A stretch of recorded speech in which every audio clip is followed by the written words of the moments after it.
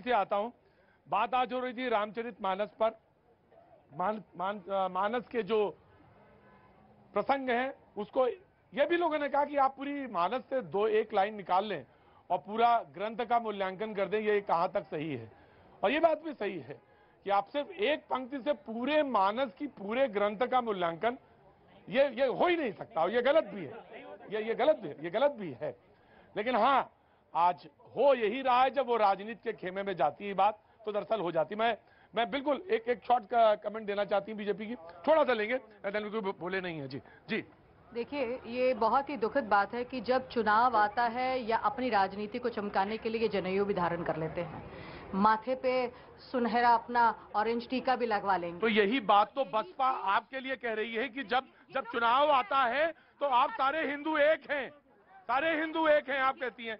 नहीं नाराज़ मत होइए ये बात बसपा ने कही है। बसपा का आदमी यहाँ नहीं बैठा है इसलिए मैंने आपको कह दिया नाराज़ मत होइए। नहीं नहीं नहीं देखिए हाँ। वो क्या कहते हैं मुझे उनसे मतलब नहीं है। हम सबको साथ में लेकर चलते हैं पर जब ये चुनावी हिंदू हमें चुनाव में हिंदू बनने की ज़रूरत नहीं। मैं हिंदू का चोला पहन कर आई हूँ मुझे हिंदू बनने की ज़रूरत नहीं। एक मिनट एक मिनट मैं आ रहा मैं आ रहा। जी जी। प्रतीक जी जब भी हम कोई साहित्य पढ़ते हैं तो बिना उसके संदर्भ के हम समझ कैसे सकते हैं? ये मेरा प्रश्न है। समाजवाद, समाजवादी पार्टी के प्रवक्ता, इनके नाम में राघव है, सुंदरकांड कंठस्थ है, फिर भी यह नहीं कह रहे कि रामचरितमानस को इस प्रकार से जला देना गलत है। नहीं कह पा रहे। राजनीति इस तरीके से सर पे चढ़ बैठी है। आज समय यह है कि हम समझें। यहाँ पे खड़े जितने लोग हैं, इन्हें समझना ज़रूरी है कि इसके पीछे उद्देश्य क्या है? उद्देश्य यह है समाज को तोड़ना। यह विघटनकारी पार्टियाँ हैं। इन्हें समाज को तोड़ना है और उसके, उसकी आँच पर अपनी रोटी सेकना है। जवाब दें। मैं मैं जवाब देता हूँ। कभी कभी क्या होता जवाब बहस में निकलता नहीं है, एक लाइन में निकल आता है। और मैं बताऊँ, एक लाइन वो ये है, आखिर का ट्वीट देख रहा था, उसमें ये लिखी हुई थी, जो गणना की, जो गणना की इजाज़त नहीं देता, वो क्या जानेगा? वो गणना कौन सी है, मालूम है आपको? कौन सी है? हाँ? नहीं, मैम, नहीं। अभी हिंदू मुसलमान तो उलझा ही नहीं है, तार। यहाँ तो तार कुछ और है। चुनाव 24 की तैयारी है।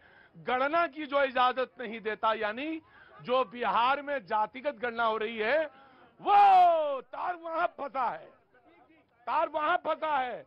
तो जो तार फंसा है, उसको समझने की कोशिश करिए, और राजनीति समझ में आ जाएगी। me- जी। सबसे पहले मुझे आपत्ति है यह शब्द दलित पर। इस शब्द का आविष्कार किया इनने समाज को तोड़ने के लिए। दलित शब्द डिलीट से आता है।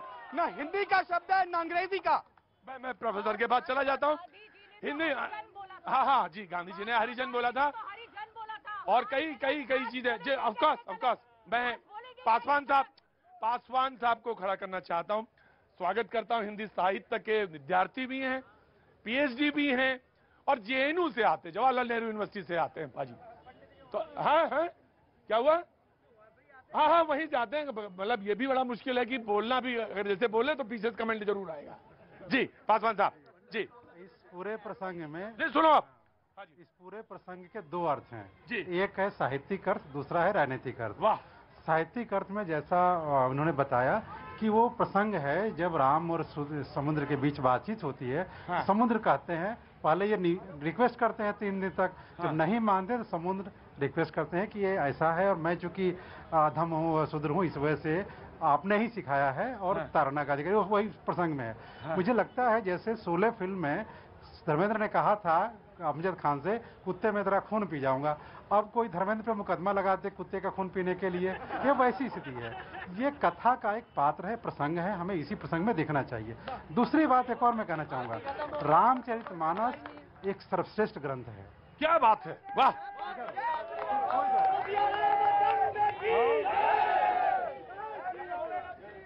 मुश्किल यहाँ भी फंसी हुई है, पासवान साहब। मुश्किल यहाँ भी फंसी हुई है। जैसे इसने कहा ना सियापत रामचंद्र की। पूरी सांस इतनी खींचनी है, जैसे मैंने खींची थी। ऐसे नहीं बोला, सियापति रामचंद्र की जय। ये ना ना ना बोलो, सियापति रामचंद्र तो दिक्कत यह है कि धार्मिक ग्रंथ है, एक तरफ़ मानने को तैयार है, उसको साहित्य के मापदंडों पे कसने को तैयार नहीं है लोग। एक दिक्कत यहाँ भी फंसी हुई है। तो वो ग्रंथ है, उसके समय में समकालीन जितने ग्रंथ हैं वो भी हैं। नाभादास का ग्रंथ है, है और जायसी लिख रहे हैं पद्मावत लिख रहे हैं। पूरे भक्ति काल के जितने कवि हैं कबीर दास हैं उनसे पहले हो चुके हैं। हाँ। उनका अमर देशवा का एक स्वप्न लोग देते हैं। संत रविदास बेगमपुरा का देते हैं। बेगमपुरा गम से परेश ऐसा शहर जहाँ पे कोई गम नहीं हो। सूरदास वृंदावन का देते हैं। सारे लेखकों का अपने जो बड़े हैं उनका एक यूटोपिया है। अपना एक यूटोपिया इनका यूटोपिया राम राज्य स्थापित करते हैं। इनका यूटोपिया राम राज्य है। तो हाँ। सभी लोगों का एक विजन है ऐसा स्टेट होना चाहिए। तो एक इसका साहित्यिक अर्थ है। राजनीतिक अर्थ यह है कि धर्म के मामले में भाजपा बीजेपी सबसे बड़ी खिलाड़ी हो चुकी है। उसने दलित ओबीसी को अपने पाले में कर लिया है भगवान श्री राम के नाम पर